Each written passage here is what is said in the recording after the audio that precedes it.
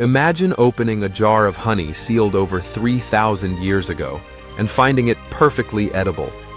Honey's legendary longevity isn't just a myth, it's a marvel of chemistry and nature working together. The secret lies in its unique composition. Honey is a supersaturated sugar solution, meaning it contains very little water.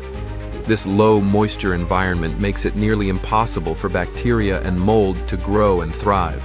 But that's just the beginning.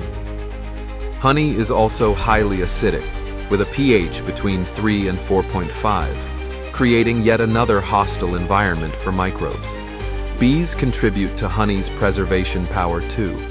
They add an enzyme called glucose oxidase, which breaks down into hydrogen peroxide, a natural antibacterial agent that further protects honey from spoilage.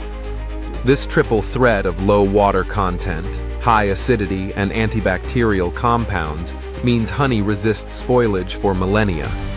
Archaeologists have discovered pots of honey in ancient Egyptian tombs that are still safe to eat today, a testament to its incredible durability.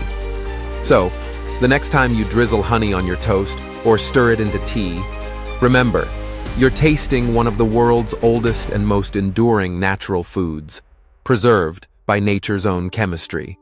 Oh wow! Like, subscribe for more.